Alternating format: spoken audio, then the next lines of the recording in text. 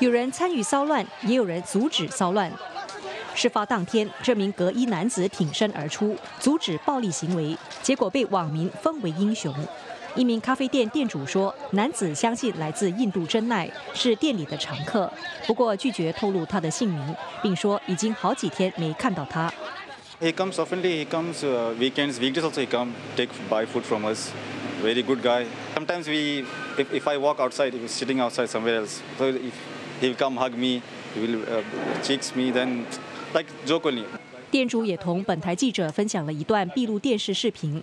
事发时，店里许多客工迅速伸出援手，将桌椅搬进店里，并拉上闸门，协助店家将损失减至最低。